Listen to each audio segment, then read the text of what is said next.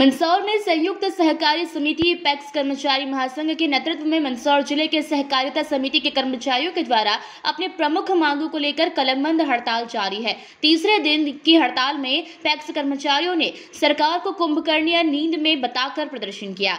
संगठन के मीडिया प्रभारी नईम पठान ने बताया कि वे कई वर्षों से अपनी जायज़ मांगों को लेकर संघर्ष कर रहे हैं। उन्होंने कहा कि हमारे सेवामान में लाभ, शब्द जोड़, इससे हमें वेतन नहीं मिल रहा है। इसलिए उनकी मुख्य मांग यही है कि सेवा नियम में लाभ शब्द को विलोपित करें और पैक्स कर्मचारियों को वेतन मान दिया जाए। इसके साथ ही अन्य मांगों को लेकर सरकार, महापंचायत बुलाए, सहकारिता कर्मचारियों की मांगों को सुने और उनका निराकरण करे।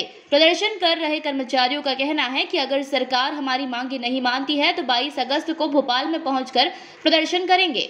आज सरकार को जगाने का प्रयास किया गया है। कुंभकर्ण की नींद में सोई हुई है सरकार।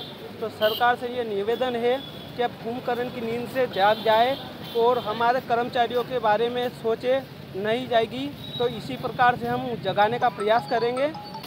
देखिए, विगत कई वर्षों से हम लगातार प्रयासरत हैं कि हमारी जायज़ मांगों के लिए शासन सहयोग प्रदान करे और हमारी जायज़ मांगों को शासन पूर्ण करे।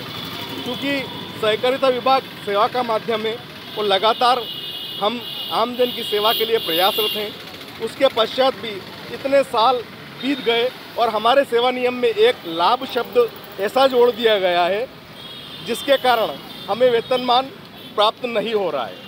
क्योंकि सहकारिता एक सेवा का माध्यम है, लाभ का माध्यम, लाभ कमाना सहकारिता का उद्देश्य नहीं है तो हमारी यही मांग है, जो मुख्य मांग है कि हमारे सेवा नियम में जो लाभ शब्द है, उसका लोप हो और हमें सेवा नियम का लाभ दिया जाए।